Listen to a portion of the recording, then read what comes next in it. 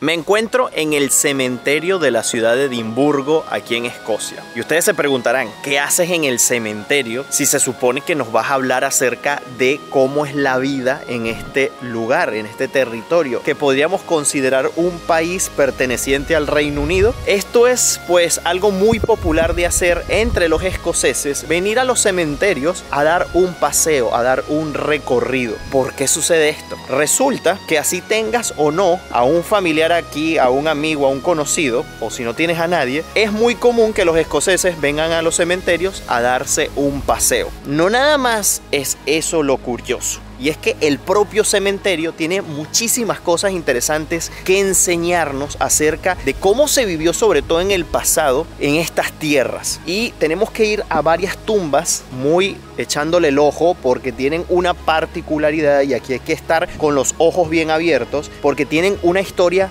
muy tétrica, difícil que se vivió hace muchos años atrás, sobre todo acá en Europa en general.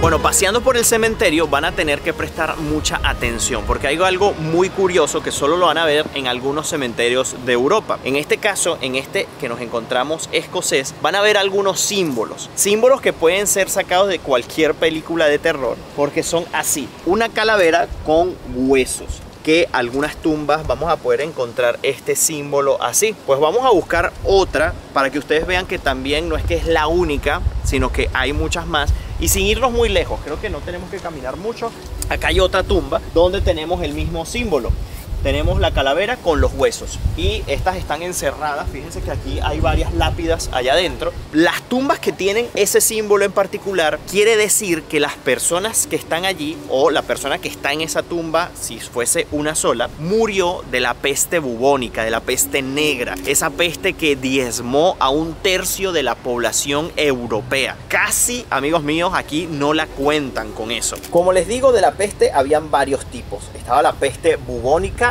la peste septicémica y la peste neumónica. Esta última es la más grave, pero en general, dependiendo del tipo de peste, podías tener llagas terribles como les comentaba, o el cuerpo lleno de hemorragias internas. Ahora, debido a lo peligrosa de esta enfermedad para la época y que una vez la persona moría, su cuerpo sin vida aún podía contagiar, marcaban las tumbas de esta manera para identificar que esa persona murió de la peste. Y si es primera vez que ustedes ven esto, para mí también lo está haciendo. Es muy curioso, nunca había estado en un lugar así que pues contara un poco acerca de esta importante pero marcada y trágica historia europea.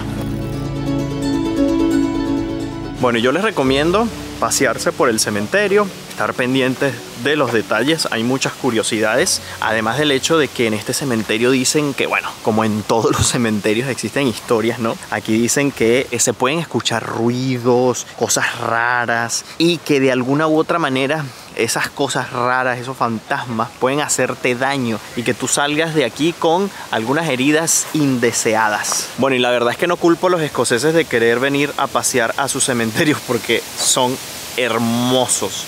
Ya quisiera yo que todos los cementerios del mundo fuesen así, sobre todo los de mi país. Muy bonito, la verdad. O sea, a pesar de que puede tener un lado, no sé si decirle oscuro, porque la verdad es que bueno, un cementerio nos tiene que ser siempre catalogado como un lugar oscuro, tétrico, tenebroso, ¿no? Pueden ser lugares así de bonitos, miren, con bellos jardines, verdes, todo bien cuidadito y simplemente, miren, hay gente que puede venir a dar un paseo por aquí y encontrar la belleza a sitios como este. Y los escoceses pues lo han sabido hacer y lo han sabido apreciar sobre todo. Que a propósito no sé si es una tumba o es un mausoleo como tal ya lo vamos a ver de una en particular, puedo suponer que a algunas personas les parecerá familiar la persona que está enterrada allí, vamos a ver. Pero mientras que llegamos allá, fíjense que aquí tenemos más tumbas con la calavera y los huesos. Miren esta, aquí hay una, aquí hay otra, sí, esta es otra, fíjense allí.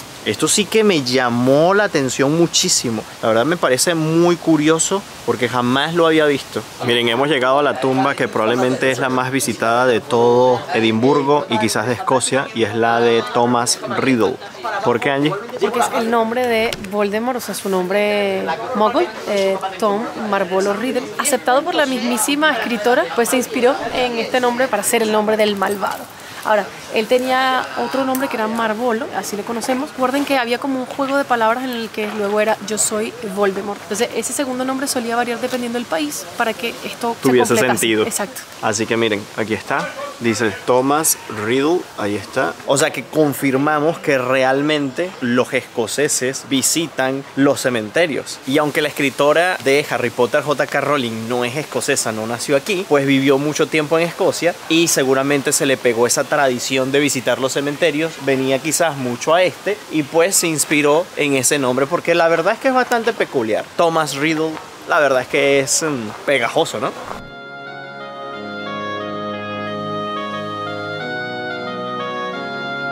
Miren, y si prestan bastante atención durante su recorrido por Edimburgo y en general por Escocia, van a encontrar muchísimos castillos. Y es que de hecho se calcula que en su día llegó a haber más de 3.000 castillos acá en Escocia. Eso significa un castillo por cada 250 kilómetros cuadrados, lo que es una cifra increíble.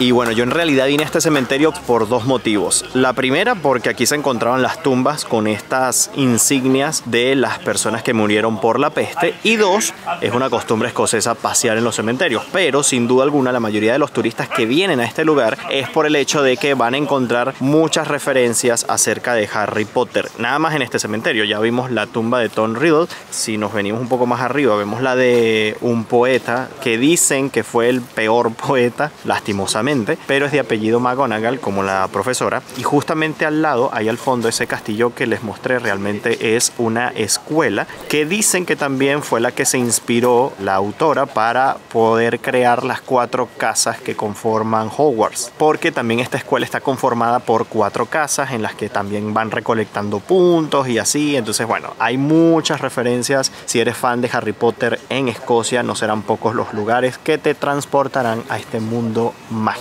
pero si quieren ver más a detalle, allí les está haciendo un video un poco más detallado al respecto en su canal, que lo van a poder encontrar en la descripción de este video. ¿Cómo se le va a llamar entonces a este dragón?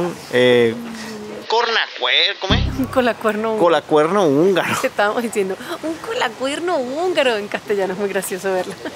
Bueno, y hemos llegado a un punto importante de este recorrido por la vida de los escoceses y es justamente este bar Grey Friars Bobby, que tiene la estatua con el mismo nombre del perrito, del famoso perrito que allí se está tomando la foto allí, que todo el mundo le toca la naricita. Y es que ustedes saben que las historias que envuelven a algún animalito de estimación pues se vuelven más populares, ¿no? Y se vuelve pues una cosa revolucionaria. Ya estuvimos visitando cuando estuvimos por Japón la estatua de Hachiko, el perro este famoso que pues fielmente esperaba a su dueño en la estación de tren, que yo tengo mi teoría de eso y es que más bien la gente de la estación pues alimentaba al perrito y el perrito iba hasta allí y se quedaba ahí pues para que lo alimentaran, porque si ya no tenía el dueño pues imagínense ustedes. Esa es mi teoría del perrito Hachiko, pero este perrito resulta que el dueño murió, pues el perrito fiel a su dueño se quedó custodiando su tumba por el resto de su vida. El perro vivió como 16 años aproximadamente y el perro pues fielmente esperó a su dueño ahí en su tumba. Siempre estuvo ahí custodiando la tumba. Hasta que se reunieron. Hasta que supongo que se reunieron, así es. Pero existe la teoría o una investigación más bien de una universidad que dice que en teoría como que no había un perro sino dos. Entonces uno que era un perro callejero que pues entrenaban para que estuviese en la tumba del dueño en el cementerio, que justamente vamos a entrar por acá. Y el otro, pues que está la estatua aquí. Entonces no sé qué dicen ustedes. Y bueno, si quieres saber más a detalle la historia, pues aquí en el bar tienen allí pues la leyenda con el perrito, miren, y la tumba de su dueño al fondo, toda una celebridad. Y justo al lado tenemos la entrada al cementerio vamos a entrar por aquí porque además de ello hay muchas cosas interesantes que decirles acerca de los cementerios de Escocia en este caso. Miren, aquí está la tumba del perrito por su lealtad y devoción. Murió a los 16 años, el 14 de enero de 1872. Y es la entrada principal del cementerio. Está el perrito allí, miren, la estatua por lo menos. Y todo el mundo le deja un palito, miren. Ay, qué bonito, miren. No había captado la cosa. Le dejan un palito para que juegue. Bueno, y hablando acerca de los precios de los alquileres, la vivienda, cuánto cuesta comprar una casa acá en Edimburgo, miren, estamos justamente en una inmobiliaria donde tienen varios anuncios. A mí me gusta ver aquí porque vemos la realidad, ¿no? Y por ejemplo, entre los inmuebles más económicos para alquiler por aquí, por Edimburgo, de una sola habitación, que justamente este inmueble que está acá, vale 995 libras esterlinas. Esos son aproximadamente al cambio unos 1.300 dólares, casi 1.300 dólares en alquiler para un apartamento de una habitación. Por ejemplo, este apartamento está a una media hora en transporte público del centro de Edimburgo, la capital de Escocia, para que tengan más o menos una idea de los precios y la distancia del centro de la ciudad, que es donde normalmente, bueno, la gente quiere vivir cerca del centro porque se consigue más trabajo. Ese es el más barato. Ahora, el más caro vale unos 3100 3.100 libras esterlinas y este ya es de tres habitaciones. Esas 3.100 libras son casi 4.000 dólares por un apartamento de tres habitaciones. Eso más o menos está también a unos 35 minutos del centro de la ciudad donde nos encontramos. Así que bueno, para que más o menos tengan una idea de lo más barato y lo más caro. Ahora, si ustedes están pensando en comprar un apartamento, por ejemplo este de dos habitaciones, el más barato que tiene esta inmobiliaria exhibido cuesta 225 mil libras esterlinas bueno, miren, y actualmente está lloviznando y hay gente que ni siquiera le presta atención. No tienen paraguas, no tienen poncho, simplemente van por la calle asumiendo su realidad. Y nosotros con nuestro tremendo paraguas acá. Ayer tuvimos un día bastante soleado. Si vieron el video de primeras impresiones, lo habrán visto, pero hoy no corrimos con la misma suerte. Y es que esta es la realidad de Escocia en este caso. O sea, la mayoría del tiempo está lloviendo, está nublado, está frío. Eso es lo que, con lo que tienen que lidiar las personas aquí. Tanto es así y ha sido así siempre. Y además del hecho de que, como les comenté ya anteriormente, aquí pues los escoceses se la han ingeniado bastante son muy inteligentes, son muy dedicados. Un escocés inventó el poncho. ¿Cómo no? Tenía que ser de aquí, porque de aquí o de toda esta isla de Gran Bretaña, ¿no?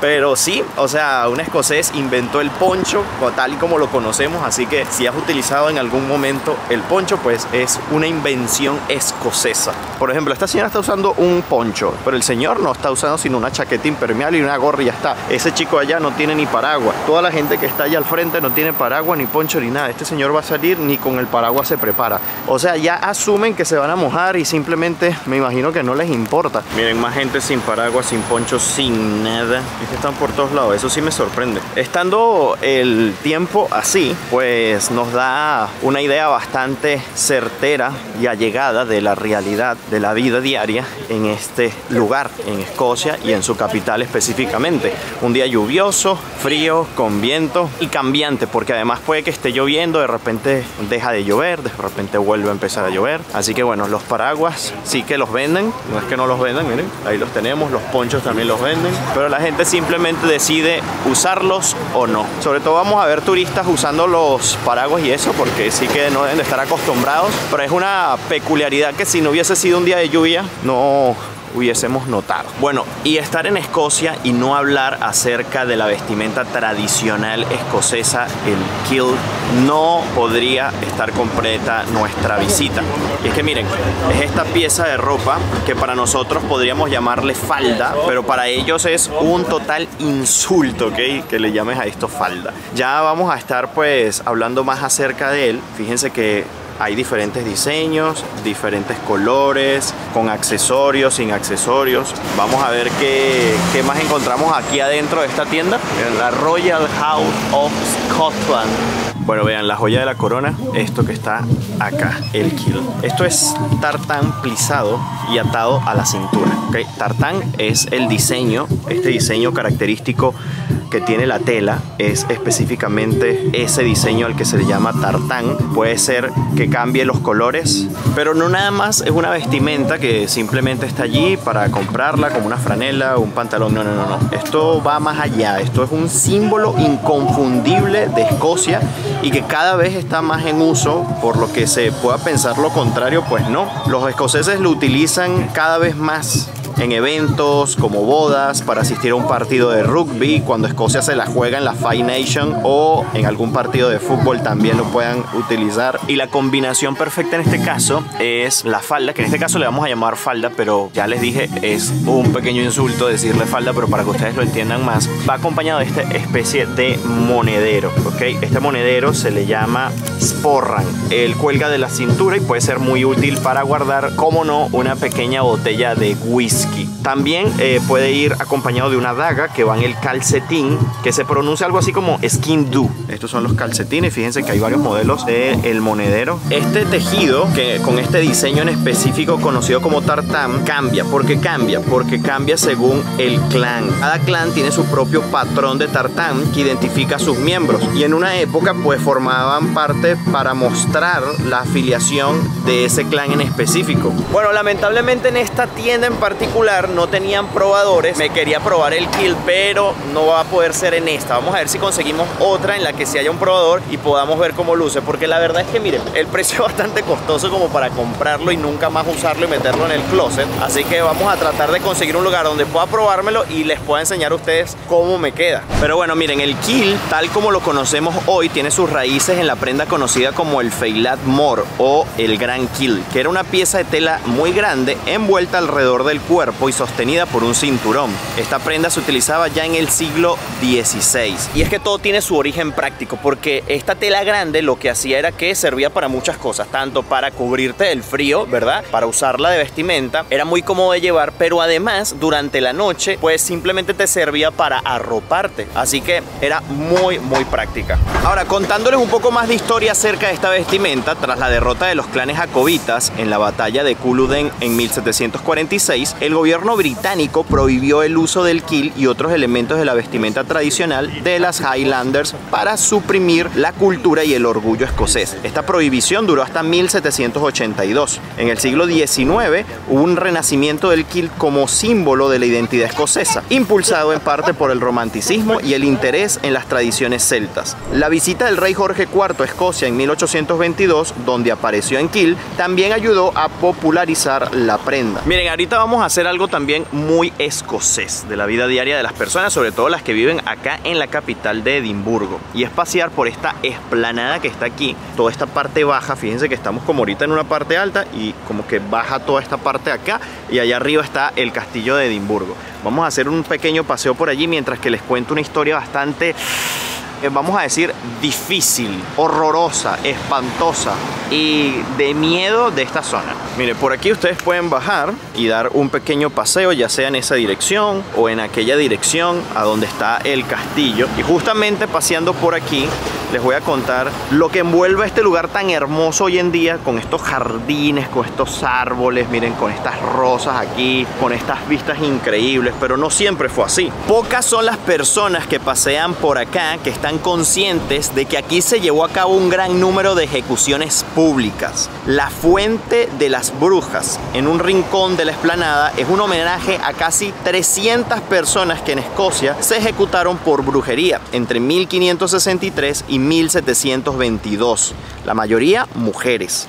Y es que por aquellos años Edimburgo era la ciudad con mayor número de ejecuciones por brujerías de toda Escocia. Y es que la mayoría de supuestas brujas morían estranguladas antes de quemarse en la hoguera en Castle Hill. El número de personas ejecutadas por brujería en Escocia es incierto, pero en uno de los últimos estudios de la Universidad de Edimburgo documenta casi 300 ejecuciones y 3.837 acusados. Y es que justo aquí está la depresión que les estaba hablando. Fíjense que allá arriba está a nivel de calle, luego está esta gran depresión y allá arriba está el castillo. Bueno, esta depresión antes era un pantano donde iban a ser ejecutadas las brujas. Lo que hacían era que las lanzaban aquí y luego, dependiendo de lo que ocurriese después, o las dejaban simplemente allí o para la mala suerte de la supuesta bruja, si flotaba, la retiraban de aquí, la sacaban del pantano, las llevaban allá arriba al castillo y las ejecutaban en la horca. Así que no era nada bonito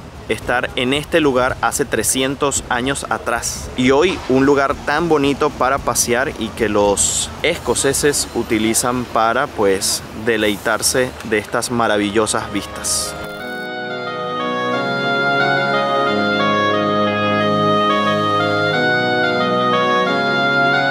Miren, aprovechando que estamos aquí en esta parte donde está bien floreadito, debajo de esta gran estatua, estoy viendo a ver si consigo la flor nacional de acá de Escocia, que es el cardo, pero creo que no hay en estas de aquí. Miren, el cardo es la flor nacional escocesa. Bueno, no es tan bonita, todo depende de gustos, ¿no? De gustos y colores, pero eh, esta flor es la flor nacional porque cuenta la leyenda que un grupo de soldados escoceses se escondía de sus enemigos nórdicos en un bosque repleto de cardos. Los atacantes, convencidos de que los encontrarían, se descalzaron y fueron en búsqueda en el más completo silencio. Y yo no sé si ustedes han visto cómo luce la flor de cardo, que igual se las vamos a estar poniendo aquí para que vean de qué estoy hablando. Pues ya se habrán imaginado que al descalzarse, ¿qué fue lo que ocurrió? Pues la emboscada dejó de ser una emboscada silenciosa, uno de los soldados pisó un cardo y pues pegó aquel grito que los escoceses pues escucharon y les sirvió para ponerse en alerta y esconderse. Miren, por cierto, aquí te van a contar un poco la historia acerca del lugar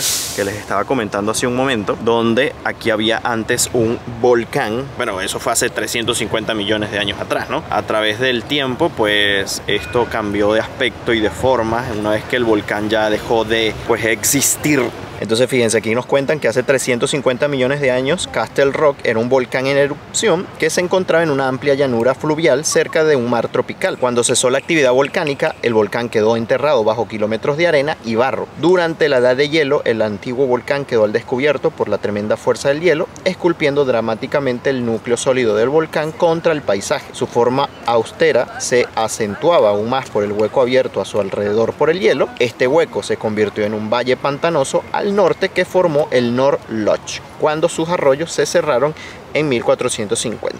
Y bueno, de ser un volcán, después de ser un pantano, luego pues drenaron el pantano. No sé si habrán encontrado alguna bruja en ese drenaje, pero luego hicieron una vía de ferrocarril y pusieron por último estos jardines.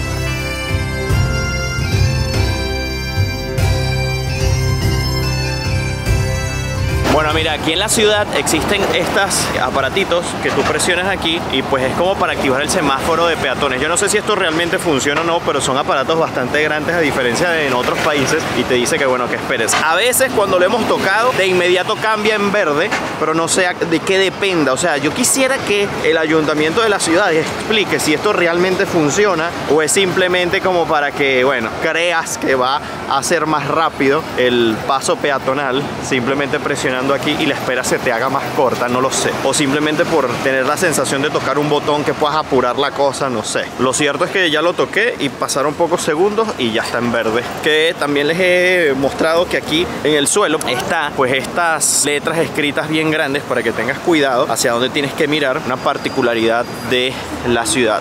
En muy pocos países colocan esto así. Bueno, y en la ciudad van a encontrar muchos tipos de transporte públicos. Tenemos este tranvía, tenemos los buses de dos pisos que hemos visto también por allí pasar, buses normales, taxis, hay de todo, una ciudad bastante completa a nivel de transporte. Y bueno, hablando acerca del transporte público, en promedio te vas a gastar unos casi 3 dólares cualquier transporte, pero si compras el pase mensual te va a salir en más o menos unos 65 dólares al cambio. Ahora, habiendo visto ya los precios de los apartamentos, ustedes seguramente también se estarán preguntando cuánto se pueden gastar en servicios. Esto va a ser, depende obviamente del tamaño del apartamento, del uso que le deja las cosas, pero un promedio mensual estaría sobre los 150 dólares a 200 dólares aproximadamente. Pero lo más importante quizás saber es cuánto ganan las personas aquí y si pueden hacer frente a esos gastos como tal. El salario promedio aquí se encuentra en unas 1.500 libras esterlinas. Esos son casi unos 2.000 dólares mensuales aproximadamente.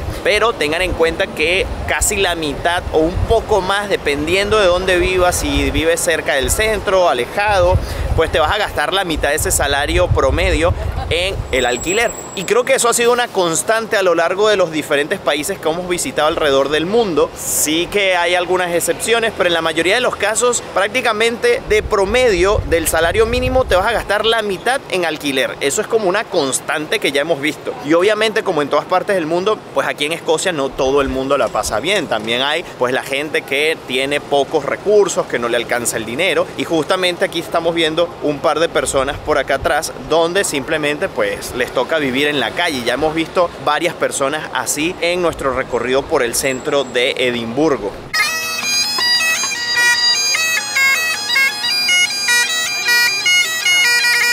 Bueno, no sé si llegan a notar allá arriba las eh, chimeneas, muchas chimeneas en los techos. Las vamos a poder ver durante nuestro recorrido cuando vean los tejados. Y es que resulta fácil comprender viendo eso porque en el pasado Edimburgo se ganó el apodo de Aul Ricky, la vieja humeante o apestosa. Y es que aunque el humo ya no ennegrece la ciudad, las chimeneas se han convertido en una parte inconfundible de su silueta. Aún así, la ciudad no huele a humo, sino que desprende un peculiar olor que recuerda al pan recién hecho a la levadura o incluso a las palomitas. Dicen que este aroma de cereales proviene de la malta y la cebada que se utiliza en las fábricas de cerveza que quedan en la ciudad. Miren, a propósito lo que les decía de la vestimenta tradicional, miren a ese chico Va con unas rosas en la mano y con su tradicional kill. Miren, con las medias altas. Y en la parte de arriba tiene una especie como de saco, como de un traje, pero no. Él viene de una celebración o va a una celebración y va con sus ropas tradicionales. Miren, este robocito no para. Ya está, cortando grama y cortando grama.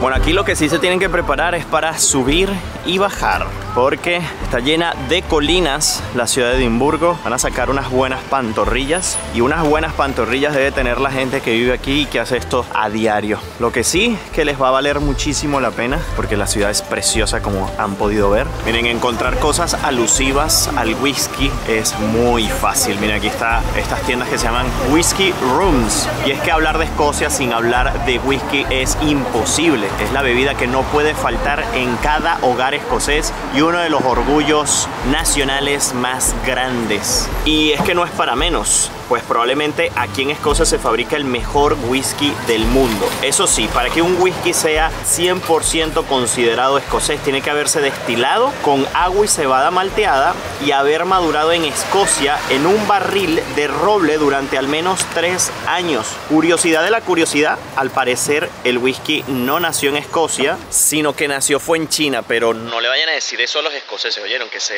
friquean. Pero miren la cantidad de whiskies que van a poder conseguir, o sea, en los whisky rooms. y hay gente dentro, miren, dándole el chupi hasta ahora. Yo no había visto, o sea, habíamos visto licorerías, pero que una licorería, porque esto sería que como una licorería, pero basada solamente en whisky. Sí, y en, y en probar, o sea, tal vez... Exacto. A ver, si a ti te gustó mucho, te usan para cinco, cinco vasos del mismo, pero la idea es que eres turista, quieres probar, entonces según recomendaciones vas a probar los diferentes whisky. Bueno, ya están peleando. Hay alguien con un ataque de ira por ahí. Yo creo que es la señora que viene aquí. Ah, sí. Está peleando sola, la verdad, ¿no? No, no está peleando sola. Ah, es con él. Está peleando con el muchacho que va adelante. Pobre hombre. ¿Estará embarazada?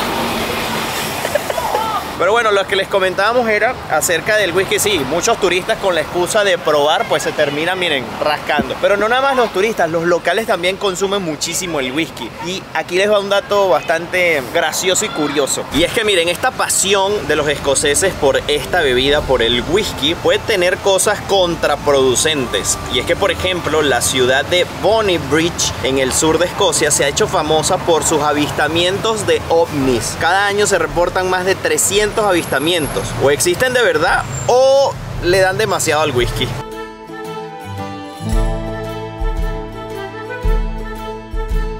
Miren, aquí está el nombre de la que nos vamos a probar, The Kilt ese es el nombre de esta falda, que no es falda. Me la voy a probar ahorita a ver qué tal, qué tal me queda, pero estoy viendo cómo me la pongo, porque esta en específico trae como estos cordones aquí, ¿no? Me imagino que se sueltan para que tú te la puedas colocar con mayor facilidad. Hay muchos modelos, hay unos que traen bolsillo, otros que no traen bolsillo, otros que eh, tienes que agregarle el cinturón. O sea, no se puede desprender del todo, porque tiene esta parte aquí que es fija. Me la pongo así.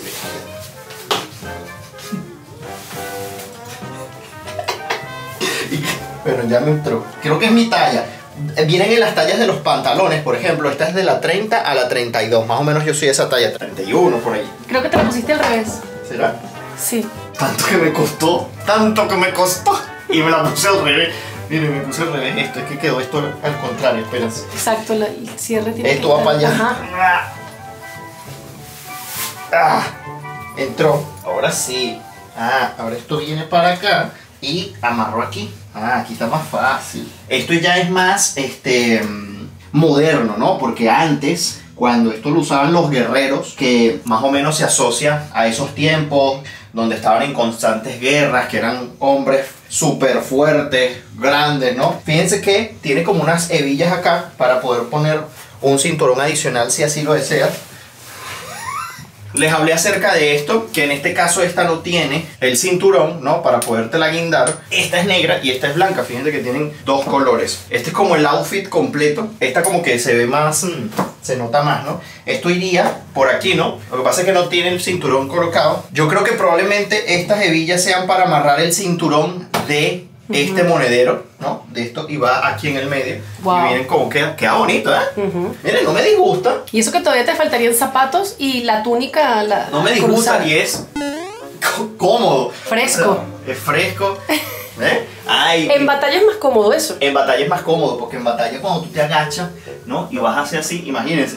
Ah, miren. Porque el pantalón siempre como que te aprieta y no te deja agacharte completo. Y aquí, miren, uno está agachado aquí. Esta gente siempre fue Pones la adelantada. posición así y miren, está súper bueno esto, ¿eh? Y la carterita para guardarle las cositas, chu, chu, chu. Está muy bueno esto, me gusta. Fíjense que esta me queda a mí por eh, debajo de la rodilla, queda por aquí, porque imagínense, si queda un poco más arriba, ya eso parecería más... Pareces una señora así. Pa- pare- sí, parece una señora. Pero miren, es muy bonito, me gusta el corte que tiene aquí. O sea, se ve elegante. Es una prenda muy elegante, la verdad. Yo no sé qué opinan ustedes, pero esto es la vestimenta tradicional acá en Escocia. Obviamente no vas a ver a la gente en su día a día, en su vida diaria, pues utilizando esta prenda, la verdad es que no. Pero miren, es muy bonita. Ahora, datazo, seguro que se lo están preguntando. Se usa ropa interior. Yo estoy usando ahorita ropa interior, obviamente, ¿ven? A uy, se fue para. Se subió, miren. Yo estoy usando mis boxers, estoy ropa interior. Los verdaderos machos, dicen aquí en Escocia, no llevan ropa interior debajo del kilt. No sé si es una cosa de, bueno, de machismo, de egos, de no sé qué. Pero dicen que un verdadero escocés no lleva ropa interior debajo del kilt. Así que yo como no soy un verdadero escocés, pues no puse mi, mi ropa interior. pues. Pero soy un verdadero macho con falda. Ahí está. Nunca me imaginé vestir con una falda realmente. ¿Qué opinan ustedes? ¿Se vestirían con un kilt? ¿Sí o no?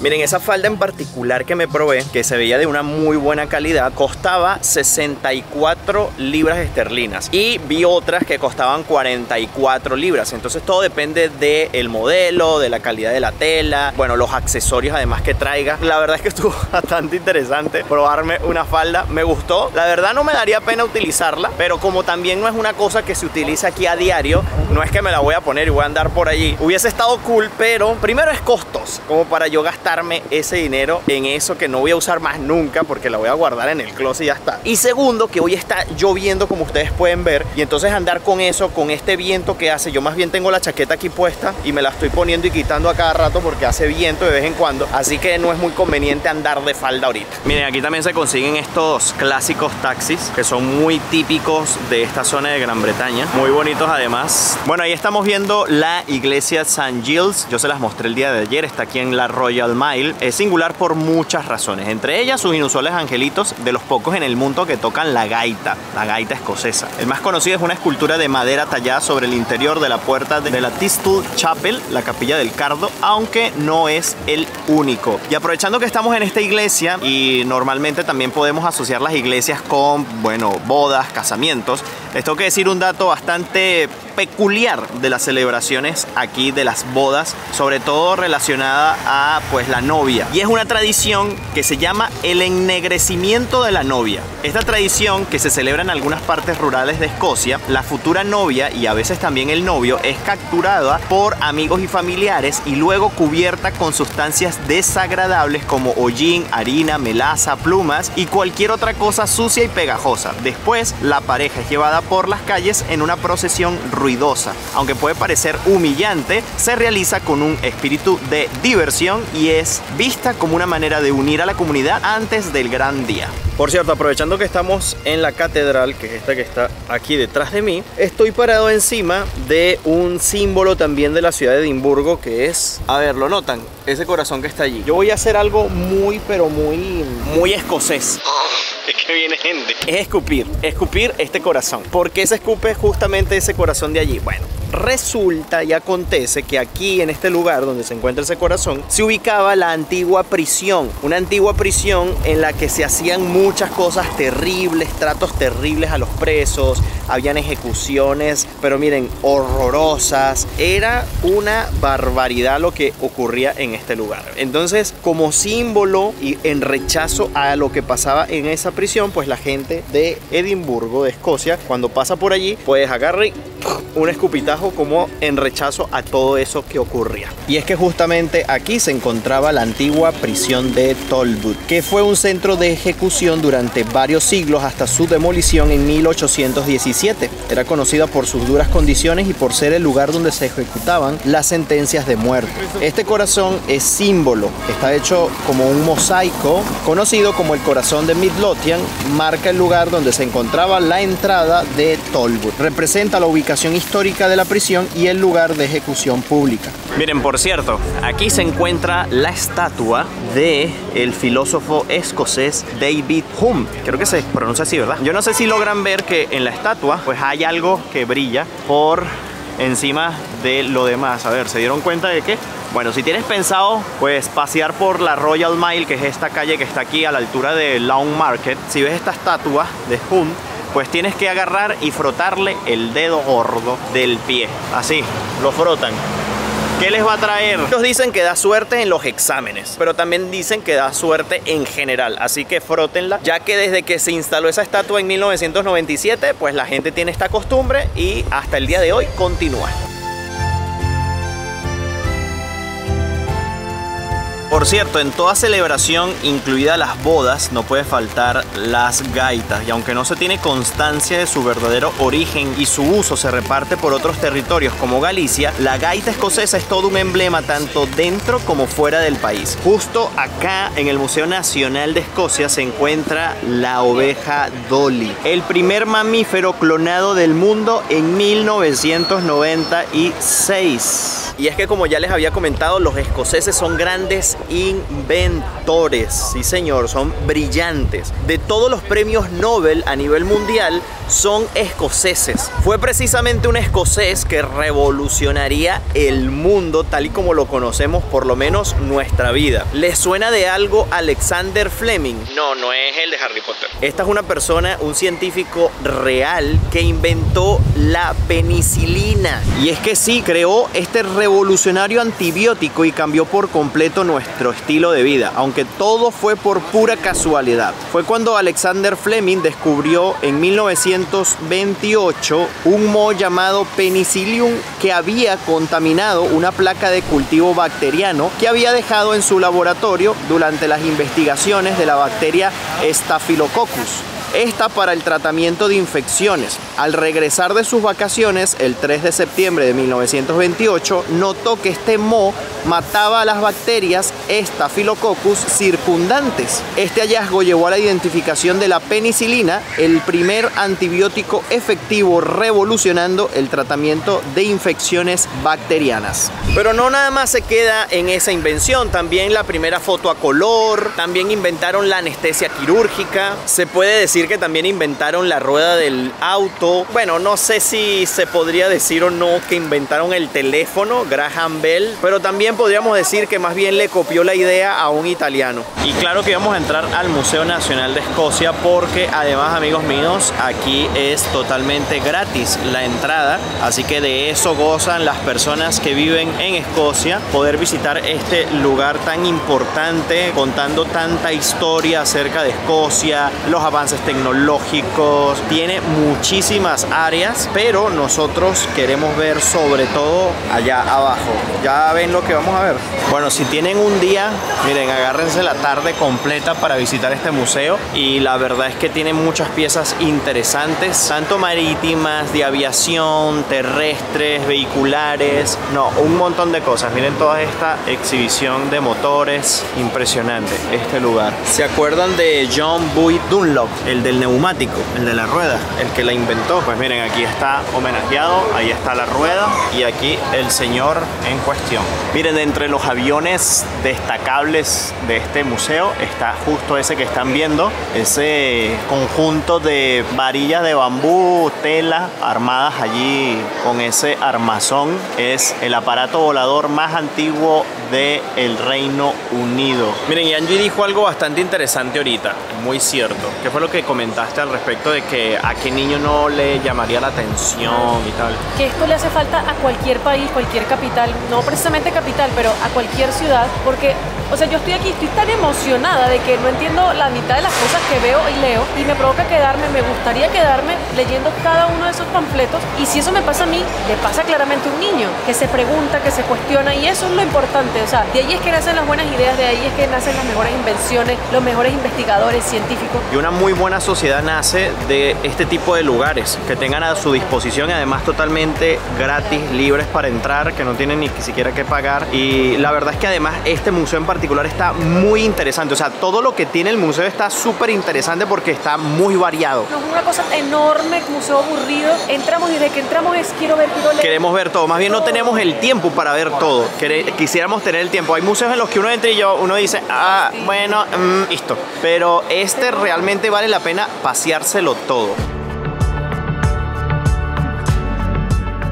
Miren, allá está el cráneo de una ballena. Miren eso, qué locura. Vean que la parte de arriba no hay nada en cuanto a hueso se refiere. O sea, me imagino que la ballena es cartílago, es de músculos, eh, la piel. Miren, y siempre en este tipo de videos me gusta llevarlos a este tipo de lugares porque esto nos da una idea bastante clara del cómo vive esta sociedad, del porqué, de los motivos que llevan a que una sociedad sea exitosa, inteligente. Y en el caso de los escoceses, como ya les comentábamos, que son muy ingeniosos, yo imagino que todo se debe a este tipo de cosas, de que tienen acceso a este tipo de educación y de incentivo, ¿no? Para poder seguir pues llevando el nombre de Escocia bien en alto. A ver quién sabe la diferencia entre un guepardo, un leopardo y un jaguar. ¿Este qué es? Es fácil, es fácil, sin trampas, díganme. ¿Es un leopardo, un guepardo o un jaguar? ¡Wow! Esto está impresionante. Miren las exhibiciones que tienen de los diferentes animales. Miren, animales del desierto, cómo cazan. Está muy bien explicado. Seguramente he entrado a algún otro museo impresionante, pero este sin duda alguna es uno de los más interesantes e impactantes que he entrado. ¡Wow! Miren esto es un Tyrannosaurus Rex. Miren eso, bueno, el esqueleto, el fósil en este caso de un Tyrannosaurus Rex. ¿Sabían que los huesos que vemos de los dinosaurios en este caso no son como tal los huesos, sino son los fósiles? Impresionante. Miren, me hicieron mi primera entrevista escolar. Esos chiquillos que andan por ahí, ellos tres, andan haciéndole o encuestas a la gente en el museo para preguntarles cuál ha sido tu parte favorita del museo y por qué. Me imagino que es una actividad de la escuela en la que tienen que venir a hacer ese tipo de preguntas. Después seguramente en clase les van a decir para que pues den las respuestas que dio la gente. Está bien chévere, me gustan este tipo de actividades. Eso es lo que también nos demuestran este tipo de lugares, la interacción que hay y toda la conexión que hay además con las escuelas y la educación. Bueno, y ahora nos vamos a acercar al área de la famosísima oveja Dolly, que es básicamente la razón por la cual entramos al museo. Y aquí la tienen, amigos míos la que posiblemente es la oveja más famosa por ser el primer mamífero clonado a partir de una célula adulta. Nació en 1996 y fue creada por el equipo de científicos que trabajaban en el Instituto Roslin cerca de acá de la ciudad de Edimburgo. Estaban interesados concretamente en la clonación ya que se relaciona con la curación de enfermedades y con cómo funciona la genética dentro de nuestros cuerpos y los de otros organismos. A pesar de la emoción en torno a su nacimiento, este tipo de clonación ya no se practica. Es muy costosa, también lleva mucho tiempo y Dolly fue la única que nació viva de los 277 óvulos usados en un ensayo de clonación. Así que se requiere mucho tiempo y mucho esfuerzo. También hubo cuestiones éticas en torno a la clonación y las razones por las que participamos en la clonación. Aunque Dolly era un clon, vivió una vida bastante normal para una abeja mundialmente famosa.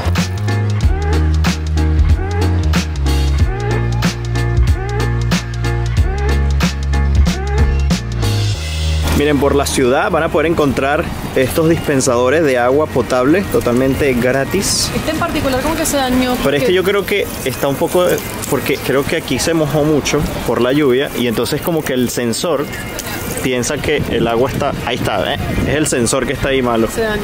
Me está saliendo un mito de la boca. Se supone que estamos en verano en Escocia. Así es el verano escocés. ¿Qué les puedo decir? No les he hablado acerca de eh, la comida típica escocesa. Creo que voy a pasar de largo con la comida típica escocesa. Es uno que yo no creo que todo el mundo lo coma. Se llama haggis, el plato, haggis. Creo que lo estoy pronunciando bien. Resulta que este plato lo hacen con avena, con cebollas, pero eso no es lo que lo hace diferente. Vamos a llamarlo diferente. Y es que además de esos ingredientes lo preparan con los órganos internos de la oveja. No me llama para nada la atención ese plato basado en los ingredientes. Así que bueno, quedará para una próxima oportunidad probar ese plato típico. Pero en compensación de eso vamos a probar algo y es este chocolate Yorkie que es de la Nestlé y al parecer como que es un chocolate que es de aquí. O sea, no es que sea de Escocia, sino que es un chocolate que bueno, se crearon por aquí.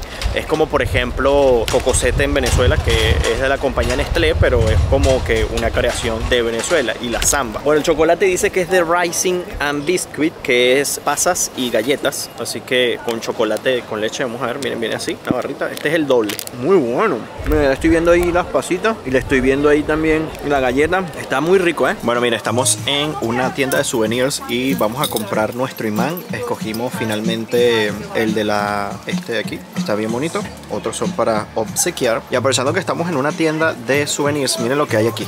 Ustedes dirán, ¿por qué está esto en una tienda de souvenirs? Pelotas de golf, eh, las basecitas donde van y todas estas cosas. Bueno, resulta que también acá en Escocia fue donde nació el golf y nació en la Edad Media. Hoy en día sigue siendo un deporte muy, pero muy popular, tanto que la asociación más importante a nivel mundial, la Royal Anson Golf Club of St. Andrew, está establecida aquí. Miren, cambiamos el imán. Vimos este de falda. Creo que ese va a ser el imán. Es la falda y dice Escocia.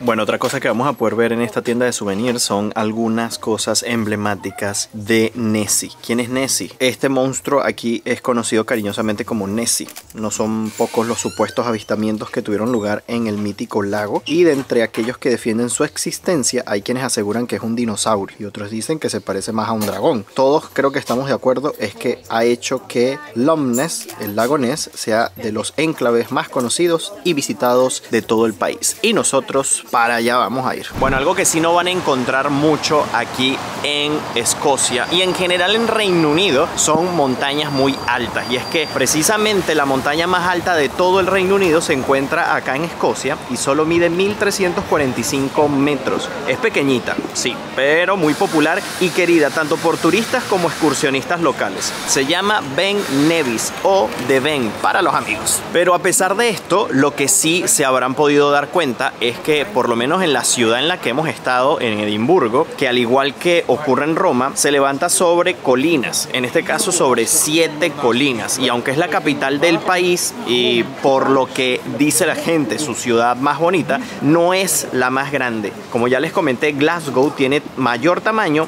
y tiene también la mayor población. Miren qué hermosas algunas calles como esta, la Victoria Street, por la que estamos pasando en este momento. Tiene sus callejoncitos, tiendas coloridas, hay de todo en esta parte. Así como, bueno, otra curiosidad de Escocia es que el país cuenta con más pelirrojos, en torno al 13% de la población total. Una barbaridad si pensamos que en el resto del mundo la cifra ronda el 2%, le sigue de cerca Irlanda con un 11%. Por ejemplo, el actor Ewan McGregor es un buen ejemplo de pelirrojo escocés. Bueno, no sé si vieron que nosotros íbamos a comprar el imán que era como una especie de vaca. Bueno, esta es la vaca de las tierras altas. Y se identifica a través de esa pollina que le tapa los ojos prácticamente por completo. Y esto le sirve como un mecanismo de protección tanto para los ojos ya sea por los insectos por el viento o de las intensas lluvias que se la pasa pues en este lugar ocurriendo. Y llevan el nombre de Harley caos.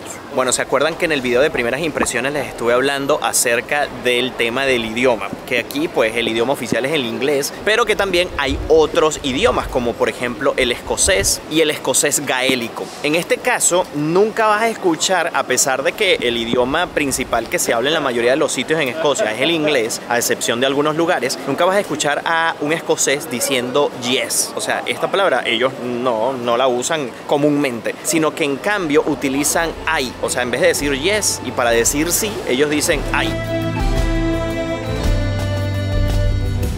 Bueno, a ver, no ha sido el mejor peinado que he tenido Yo tampoco. en los últimos 8 años que llevamos haciendo videos para este canal de YouTube. Pero esta es la vida en Escocia. Andas por la calle y después de todo el día andar en la calle, expuesto a los elementos, al viento, al frío, a la lluvia, a la humedad, a todo, pues terminas así. Bueno, no debe ser un muy buen negocio uno plancharse el pelo y pagar. Y hablando justo de eso, creo que nunca hay una peluquería. Oye, ¿verdad? Si te pones a pensar, no sería un buen negocio, porque ¿quién se va a arreglar el pelo? Nada más alguien que tenga Es una verdad, boda. Es verdad, menos que las peluquerías estén por ahí dentro de centros comerciales grandes que no hemos visitado. Puede ser. Pero nosotros, mientras tanto, llegamos a Car Carton. Carlton, sí, la colina Carlton. Carlton, Carlton, Hill. sí. Ya me escucharon, pues, comentarles. Miren el paraguas. Estos son los tras cámaras, eh. Miren mi pelo. Ay, qué risa. Ya me escucharon comentar que pues Edimburgo está en siete colinas, como la ciudad de Roma. Esta es una colina y pues tenemos una vista increíble que ya les voy a mostrar por aquí. Vean esto. A pesar del viento, vamos a tener una vista muy bonita de la ciudad, casi que 360 grados. Aunque hoy está un poco nublado, fíjense que vale mucho la pena venir aquí. Eso sí, vénganse bien abrigaditos si es día de lluvia y de viento, porque si no la van a pasar un poco mal. Y si son de los que ven los videos y viajan a través de estos videos, pues se van a ahorrar el disgusto de pasar frío, lluvia y todo. Tan solo sentados desde los sillones de sus casas Calentitos. o en sus camitas bien allí arropaditos con botanitas. se fue el paraguas.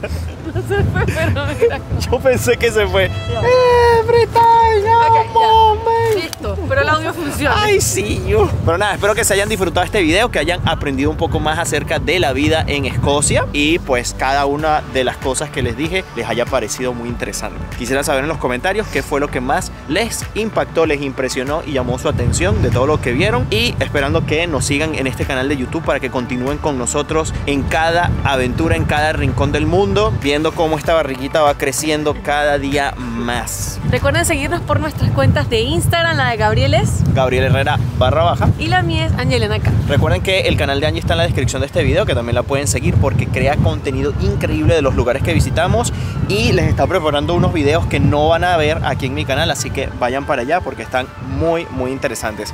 No olviden suscribirse ahí en el botoncito, verifíquenlo rapidito, tu, tu, tu, y nos siguen allí. Nos vemos en un próximo video, bye bye, porque las aventuras por Escocia continúan. Se les quiere. Bye.